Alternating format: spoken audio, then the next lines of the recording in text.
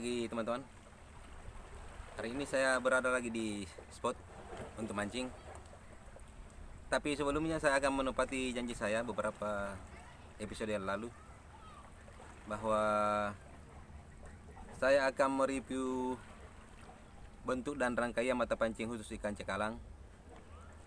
Dan sekarang saatnya saya mau bikin video reviewnya Semoga saja bermanfaat bagi teman-teman yang membutuhkan mata pancing ikan cekalang. Oke, langsung saja kita lihat bentuk rangkaiannya.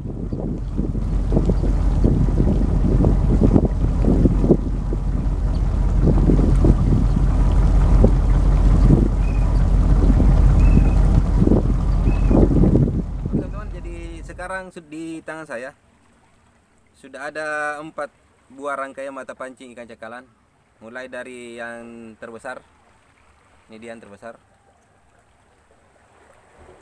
Terus yang ukuran sedang.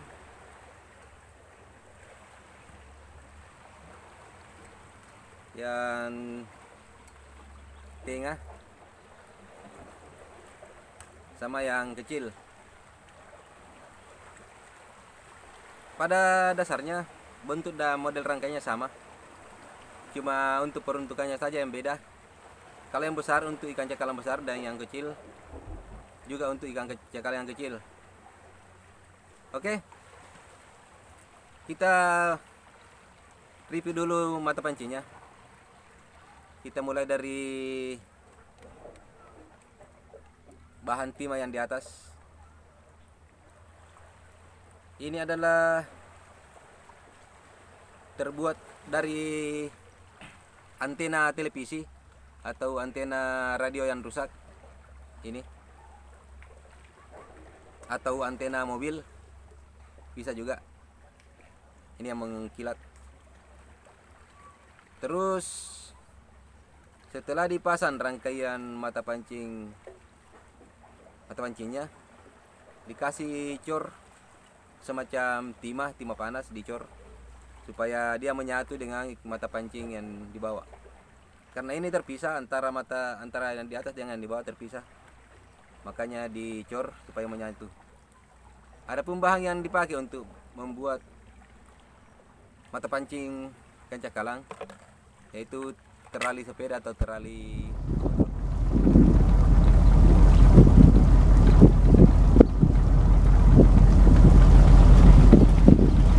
Oke, sekarang kita lanjut lagi. Jadi bentuk dari mata pancing ikan cakalang itu begini. Dia lengkungannya ndak- tidak terlalu melengkung seperti mata pancing biasa. Dan di ujungnya itu tidak ada peng- pengait.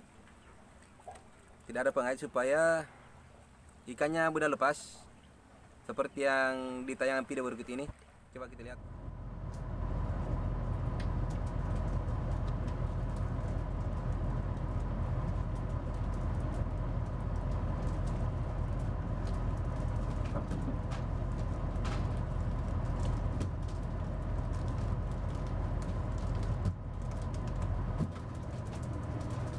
Oke, kita lanjut lagi.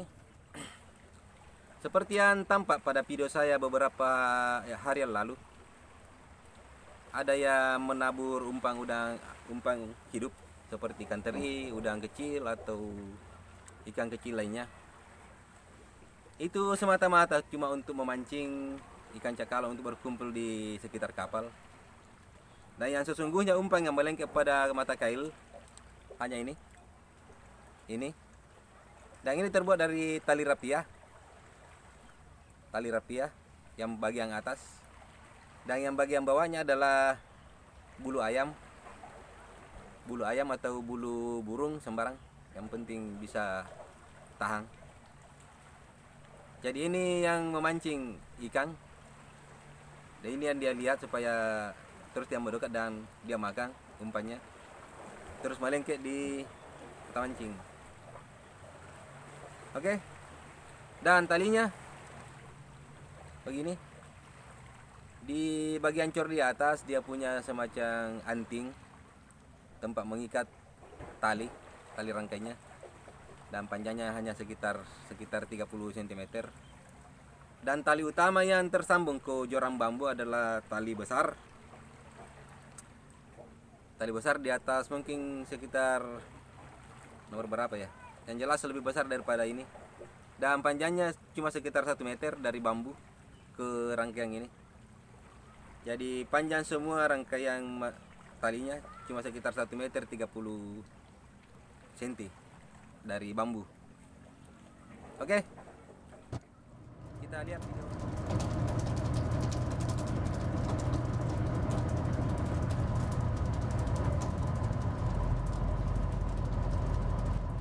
Oke, kita lanjut lagi. Dan ini saya untuk menjawab beberapa pertanyaan bahwa kenapa ya itu ikan cakalang kalau sudah kalau mancing bisa langsung lepas dari mata kailnya. Dan jawabannya adalah karena mata pancing ikan cakalang tidak pakai pengait di daerah sini, bagian sini. Beda dengan mata kail yang pada umumnya. Ini dia mata kail pada umumnya. Yang beda. Yang satu lengkungannya bagus kalau ini agak lurus sedikit, cuma lengkungannya sedikit saja. Orang tidak pakai pengait di sini, beda dengan ini. Pakai pengait di daerah sini. Oke. Makanya dia kalau begitu diangkat bisa langsung lepas. Nah, kenapa bisa langsung lepas? Karena waktu makan itu ikan cekalang dia posisi mulutnya begini. Terus pada saat pemancing melempar ke belakang jorangnya begini, mata kailnya berputar begini. Makanya pas disentak kembali dia lepas karena cuma mengait sekitar daerah mulut saya sedikit. Dan ada juga yang tidak bisa lepas sama sekali. Harus berjuang baru bisa melepasnya. Seperti tayang ini.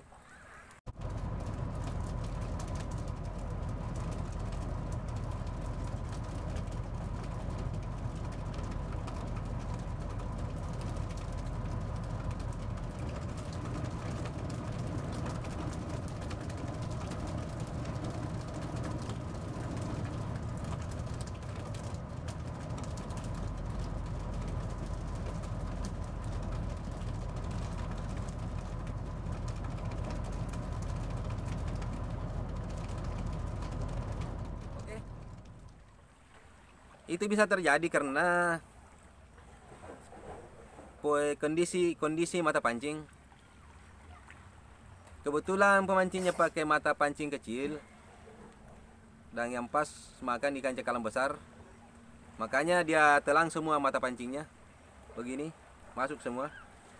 Jadi walaupun ditarik bagaimana, tetap tidak bisa lepas. Oke. Jadi mungkin demikian jawaban saya atas beberapa pertanyaan di video saya yang lalu, khususnya di video mancing cakalang. Mudah-mudahan bisa mengobati rasa penasaran para audiens. Karena banyak sekali pertanyaan, kenapa itu ikan cakalang kalau dipancing bisa lepas tanpa dipegang? Begitu dilempar ke belakang langsung lepas, itu dia jawabannya tadi karena mata pancingnya tidak pakai pengait mata pancingnya juga tumpul. Dia tidak tajam seperti mata pancing biasa. Jadi pas ikan cakalannya makan begini.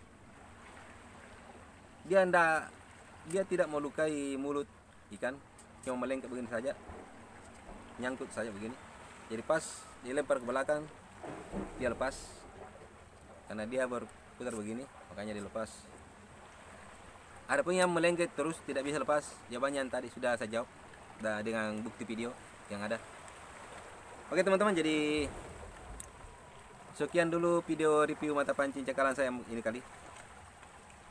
Dan itu pun kalau masih ada pertanyaan sekitar mancing cakalang saya akan tetap berusaha jawab semampu saya. Dan sepanjang pengetahuan saya tentang ikan cakalang dan cara memancingnya. Oke teman-teman. Sekian dulu Sampai jumpa di video saya berikutnya Assalamualaikum warahmatullahi wabarakatuh.